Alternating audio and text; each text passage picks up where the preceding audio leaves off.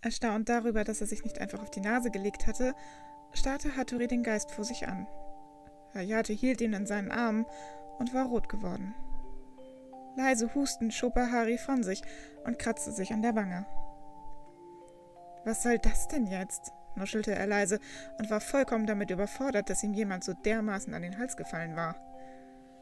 Harry konnte es noch immer nicht glauben, und unsicher streckte er seine Hände aus und wollte nach Hayate greifen, aber dummerweise glitt er nun wieder durch seine Finger. Was war das denn? Schüchtern sah er den Geist an, der noch gar nicht so genau sagen konnte, was ihn mehr faszinierte. Das hübsche Gesicht des Jungen vor ihm oder aber die Tatsache, dass er Harry wirklich aufgefangen hatte. Unsicher fuhr der Geist sich durch die Haare und räusperte sich leise. Gut, äh, wir haben das jetzt geklärt. Du kannst den Teil meiner Geschichte, die spannend war, und dann kannst du auch Ruhe geben, oder nicht? Ich meine, wen interessiert das überhaupt? Warum willst du das wissen? Es sollte dich nichts angehen, wie ich ums Leben gekommen bin oder was dabei passiert ist.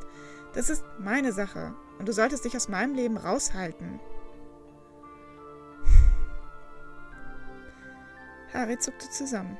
Eben war er noch traurig gewesen, aber jetzt bekam er Angst vor Hayate. Der Mann war doch schon so lange tot und hatte so viel erleiden müssen. Was war denn nun los? Warum konnte Hayate nicht auch über seinen Tod mit ihm sprechen, wo er doch schon so viel erfahren hatte? Hayate spürte, dass er etwas falsch gemacht hatte und er senkte seinen Blick.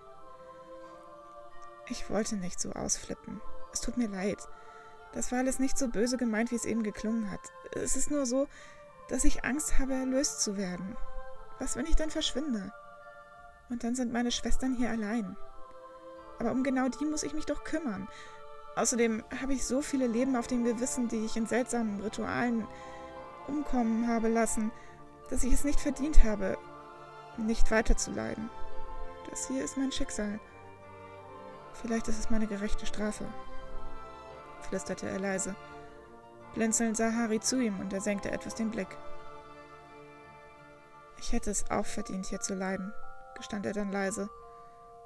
Ich bin auch schuld am Tod eines Menschen. Das werde ich mir niemals verzeihen. Und ich denke, dass er mir das auch nie verzeihen wird. Ich kann verstehen, wie es sich anfühlt, wenn man die Seele eines Menschen noch immer spürt, weil die Anklage auf Mord zu hoch ist und noch nicht gesühnt wurde. Aber kann man so eine Schuld überhaupt jemals abtragen?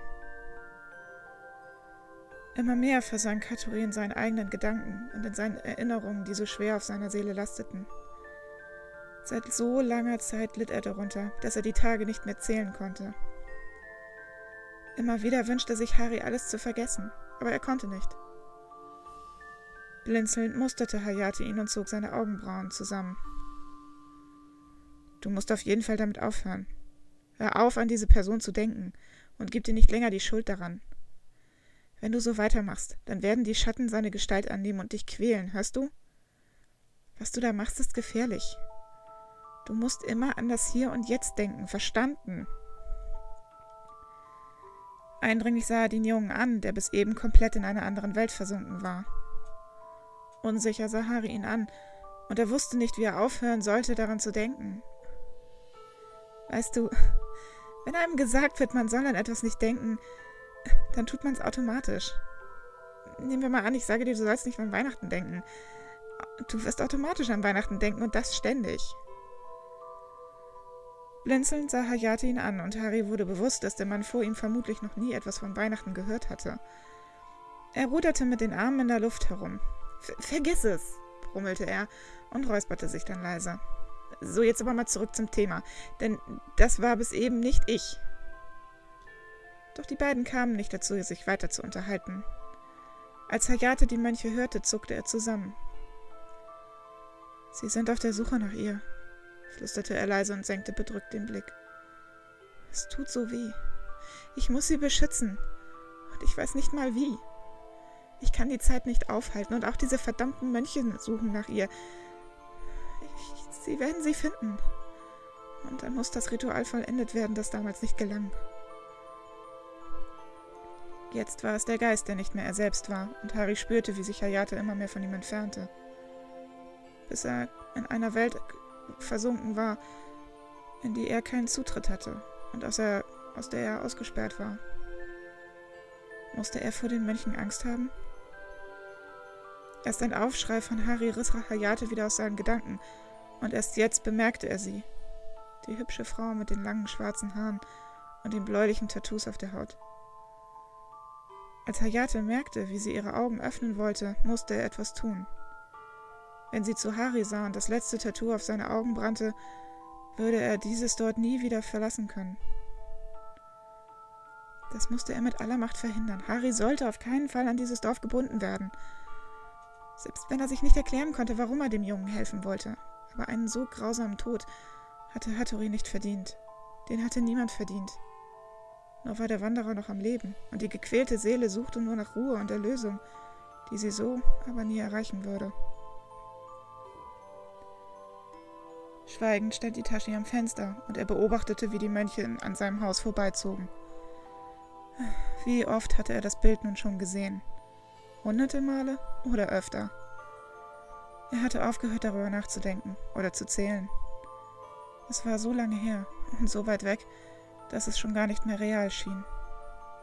War er wirklich hier oder war das seine persönliche Hölle? Immer wenn Sasuke am Fenster vorbeiging, dann versuchte Itachi zu ihm zu gelangen, aber es funktionierte nie. Das Haus zu verlassen fiel Itachi schwer, weil ihm die Kräfte geraubt wurden, wenn er es wagte. Er war hierher verbannt, weil er sich nach seinem kleinen Bruder sehnte, aber es war ihm verboten, ihm auch nur einen Schritt zu nahe zu kommen. Seufzend schloss der Ushia seine Augen und er schluckte, um die Tränen herunterzuschlucken, die in ihm aufgekommen waren. Die ganze Zeit über hatte Giacomo ihm im Blick gehabt, und als die Mönche verstummten, atmete er etwas auf. Itachi bemerkte dies und lächelte schwach. Mach dir nicht zu viele Hoffnungen. Was eben passiert ist, wird immer wieder geschehen, bis sie das auserwählte Opfer gefunden haben. Euer Vorteil ist, dass sie nicht sonderlich gut sehen können und durch ihre Gesänge auch so gut wie taub sind. Allerdings, wenn sie sich erst einmal ein Opfer gesucht haben, dann werden sie es auch finden. Seine Worte waren nicht sonderlich aufbauend, und Giacomo senkte seinen Blick. Wenn sie hinter Hanuka her waren, dann musste man das Mädchen beschützen.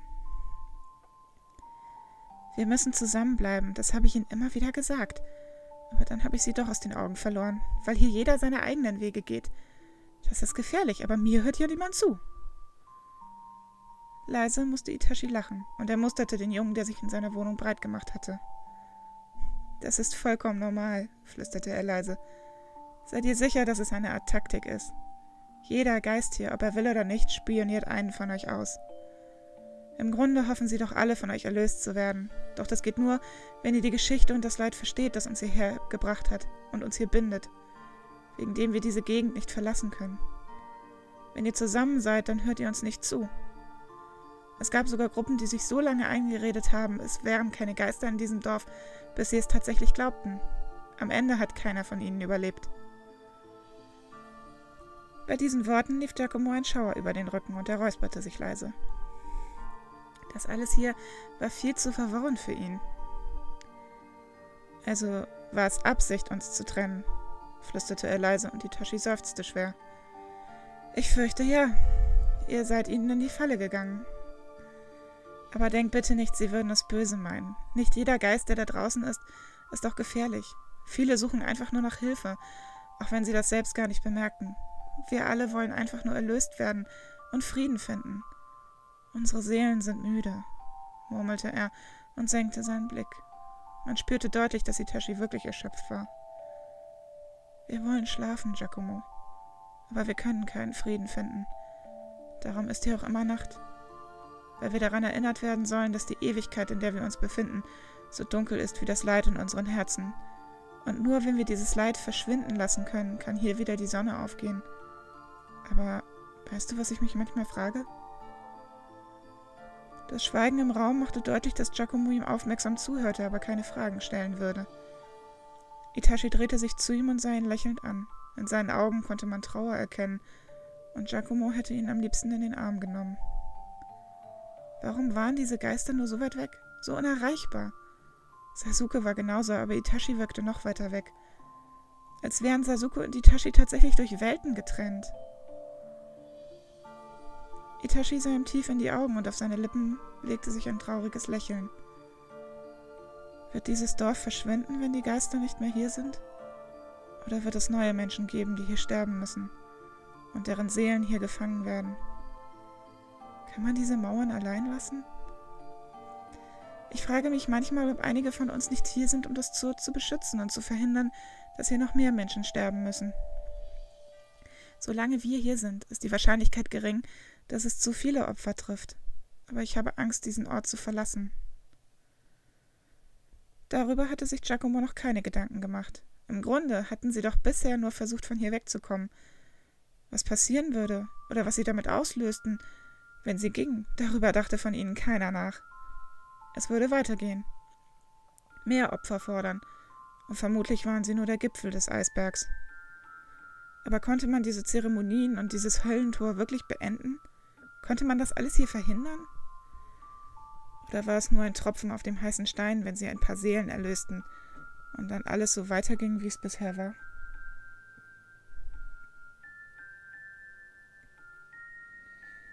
Von seinen Gefühlen und seiner Übelkeit überwältigt war Takero aus dem Keller geflüchtet und im oberen Stockwerk verschwunden. Dort hatte er die Fenster aufgerissen und hing sich nun aus einem von ihnen. Immer wieder wirkte er, und der junge Mann hatte das Gefühl, als würde er das gar nicht wieder aufhören. Deidara war ihm gefolgt, und bedrückt senkte er seinen Blick. Das Problem ist, dass Asuri sich nicht mehr daran erinnert. Ich weiß nicht, was sie mit ihm gemacht hat. Irgendwie muss sie ihn ja betäubt haben denn sie war eine sehr zierliche Person. Aber meine Frau hat nie mit mir darüber gesprochen. Und egal wie oft ich sie auch gefragt habe, sie sagte nur, dass ich mir keine Sorgen mehr darüber machen müsste und dass ich ihn vergessen soll. Nur konnte ich nie aufhören, an Sasori zu denken, und das hat mir den Verstand geraubt. Also bin ich leise die Treppe runter in den Keller und ich wollte sehen, wie sie ihn getötet hat. Leider hat meine Frau den Braten gerochen und ist mir in den Keller gefolgt. Sie hat mich erschlagen, ehe ich überhaupt begriffen habe, was da passierte. Seine Ehrlichkeit erstaunte Takeru, aber Deidara musste lächeln. Ich komme hier nicht weg, solange Sasori noch hier ist. Und meine Frau ist auch noch da, wisperte er leise und ließ seinen Blick durch den Raum huschen. Sie ist daran schuld, dass Sasori das Gebäude nicht verlassen kann und die Tatsache, dass seine Knochen noch immer in diesen Mauern stecken. Aber das weiß er nicht. Woher sollte er es auch wissen? Ich sag ja, ich weiß nicht, was sie mit ihm getan hat, aber er kann sich nicht daran erinnern, was mit ihm geschehen ist. Kannst du Sasori helfen? Bitte. Irgendwie musst du ihm doch helfen können. Du, du liebst ihn doch auch, oder nicht? Bei dieser Frage lief Takeru sofort hochrot an. Ihm war das peinlich, denn er hatte sich zwar schon öfter mal in einen Mann verliebt, aber er konnte doch nicht zugeben, dass er sich jetzt noch mehr in die Sache hineingesteigert hatte. Von seiner besten Freundin zu einem Mann und von einem Mann zu einem Toten. Es hätte schlimmer kommen können. Ich. Ich mag ihn. Aber das kann ich ihm wohl schlecht sagen, oder? Welche Chancen haben wir denn zusammen? Er ist tot und ich bin noch am Leben. Ich kann ihn ja nicht mal berühren, geschweige denn, dass ich ihn küssen könnte. Egal wie sehr ich mich auch danach sehne. Er wird für mich immer unerreichbar sein. Damit muss ich mich abfinden. Aber wenn ich ehrlich bin, tut das schon sehr weh. Irgendwas hat mich gefangen genommen. Und das vom ersten Moment, an dem ich ihn gesehen habe. Da war etwas zwischen uns, aber das wird sich doch niemals erfüllen, flüsterte Takoro leise. Endlich hatte er seine Zigaretten gefunden, die er auf dem Weg nach unten in dem Keller vermutlich auf dem Küchentisch liegen gelassen hatte. Sofort griff er nach ihnen und steckte sich eine davon an. Der tiefe Zug entspannte ihn, und er holte so tief Luft, wie er nur konnte. Deidara musterte ihn und deutete dann auf die Zigaretten. Die bringen dich um. Ich hoffe, das weißt du. Ich kann es sehen, flüsterte er und lächelte dann schwach. Ich weiß, wie du dich fühlst. Aber vielleicht hast du eine bessere Chance, als du denkst. Wir sind zwar tot, aber wir haben hin und wieder die Kraft, einen festen Körper zu bekommen. Unsicher sah Takeru ihn an und er raufte sich die Haare. Ich weiß ehrlich nicht, ob ich bei ihm überhaupt eine Chance hätte. Irgendwie will ich ihn behalten, aber ich kann ihn doch nicht immer leiden lassen.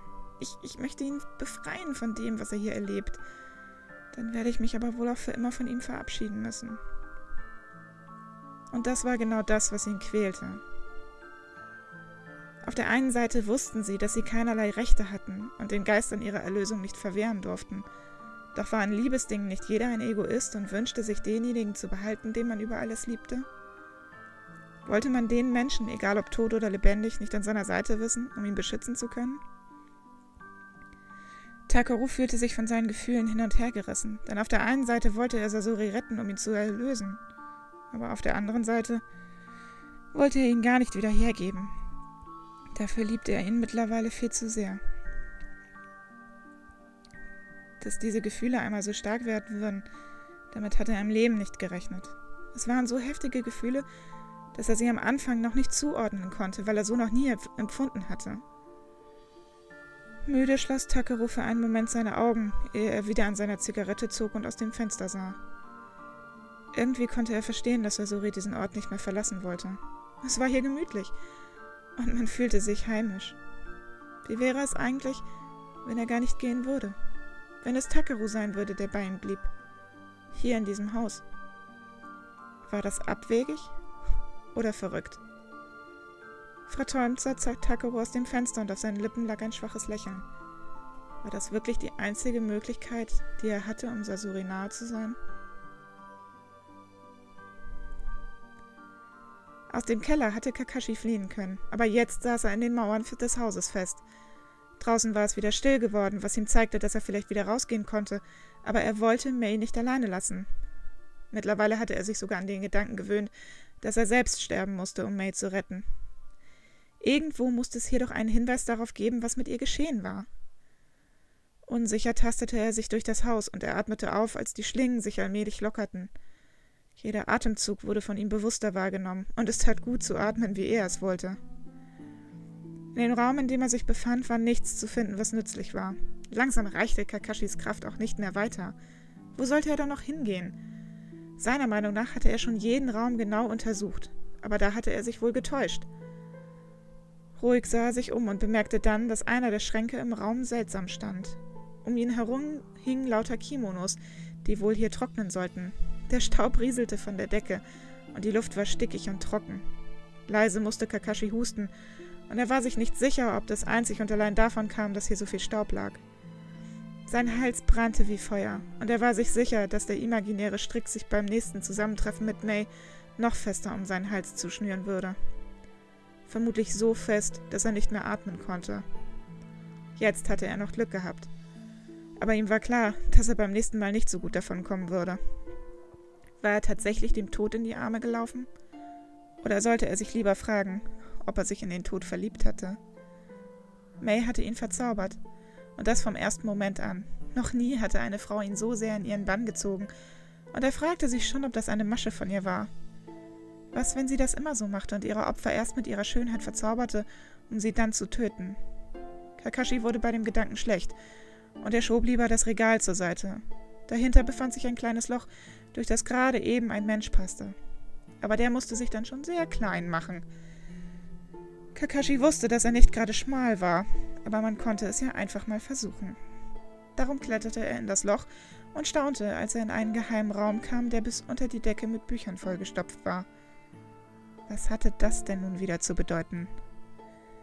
Langsam wuchs ihm alles über den Kopf, aber Kakashi hatte wirklich den festen Entschluss gefasst, nicht eher zu gehen, ehe er May nicht gerettet hatte. Dafür würde er alles tun und jedes Opfer bringen, selbst wenn er es mit dem Leben bezahlen würde. Vielleicht kamen dann auch seine Freunde frei und sie konnten einfach gehen, ohne dass er sich noch weiter um sie sorgen musste. Mit den Fingerspitzen glitt er über die Buch Buchrücken. Das Leder war so alt, dass es beinahe unter seinen Händen zu Staub zerfiel. Darunter Bücher waren, die für ihn interessant waren? Es war unwahrscheinlich, dass jemand hier all die, die Lösungen ihrer Probleme notiert hatte. Erst nachdem er in dem fahlen Licht ein zweites Mal hingesehen hatte, fielen ihm die okkulten Zeichen auf den Büchern auf. Offenbar hatte sich hier jemand sehr genau mit schwarzer Magie beschäftigt. Es waren auch noch andere Bücher darunter, aber die meisten handelten von Dämonen und der Hölle ob hier der Grund für das Tor zu finden war? Oder wirklich eine Möglichkeit, es zu verschließen? Die Hoffnung keimte in ihm auf und wollte Kakashi gar nicht mehr loslassen. Er fühlte sich wie besessen, und ihm war vollkommen egal, dass May jederzeit bei ihm auftauchen konnte. Das hier war vielleicht die Möglichkeit und die Wahrheit, nach der sie alle suchten. Was, wenn hier wirklich geschrieben stand, wie sie dem ein Ende setzen konnten? Dann hatten sie endlich wieder eine Chance. Dass May längst bei ihm war und ihn beobachtete, konnte er ja nicht ahnen. Sie selbst hatte sich immer in diesem Raum versteckt, wenn man über ihre Opferung gesprochen hatte. In diesem Raum hatte sie alles hören können.